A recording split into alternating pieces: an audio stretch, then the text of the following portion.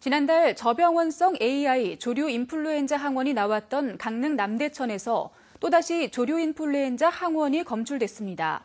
농림축산식품부는 지난 7일 강릉 남대천 하류에서 채취한 야생조류 분변에서 조류 인플루엔자 항원이 검출돼 검출 지점 반경 10km를 야생 조수류 예찰 지역으로 정했다고 밝혔습니다. AI 바이러스의 고병원 여부는 내일이나 모레쯤 나올 예정입니다. 강릉시는 광역 방제기 등 방역 차량을 동원해 야생조류 분변 발견 지역에 차단 방역 조치를 하고 있습니다.